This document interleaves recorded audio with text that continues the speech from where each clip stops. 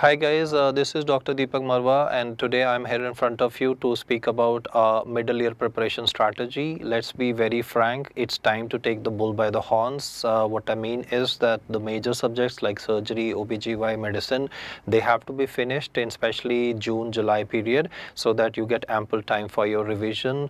Uh, you are definitely on the highway to success but let's be very frank that you could be your worst enemy by keep on postponing preparation for the major major ones and trying to focus on only the smaller subjects. Yes, I know smaller subjects are important, but then the bigger ones also have to be given the real thumb, the real preparation that is required.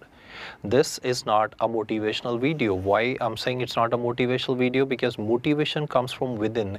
It is inspiration that comes from outside. So the very concept of a motivational video, well, it's out of the window as far as I am concerned because uh, you guys are motivated enough to be a doctor, right? I mean, you went into a pre-medical school, you went into a medical school, you endured those five and a half years of a challenge. So this is going to be no difficult for you. It's going to be a piece of cake. Just keep the mental, mental strength going.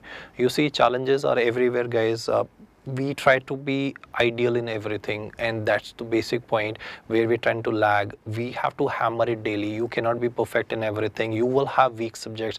Just the weak are the chinks in your armor that you basically need to focus on. So stumbling blocks will happen. You will mess up in some of the papers. You will mess up in some of the questions where you think is an answer to a particular question.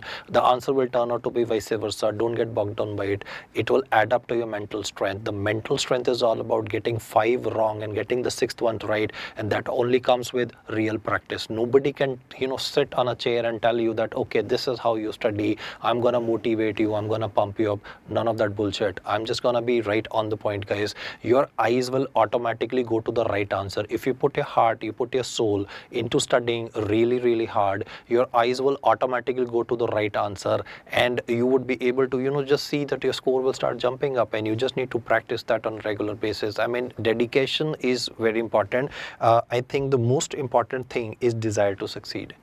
That is something which is very very important. You will have people who will talk bad about you. There will be people who would be criticizing you. There would be people who would be backbiting you.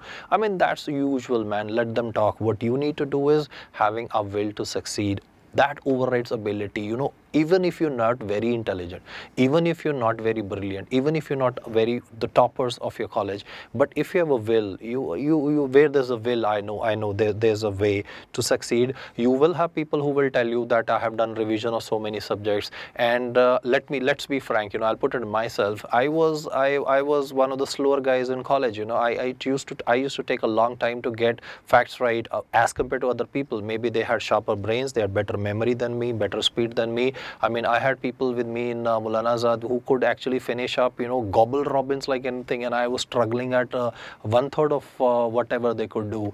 But then doesn't matter, man. Doesn't matter, man. I mean, uh, you can outgun them, you can outscore them. It's just that if you have a dedication, you keep on working, hammering daily, things will definitely come to a final conclusion. So this is where you are, guys. Middle of the summit. It's still a long way go up, and I know that that highway to success is something that are always dreaming of. But I want you to make it a reality. So yes, guys, pump it up and I'm very, very sure you'll come out with flying colors. Thank you so much for listening to me for today. Thank you.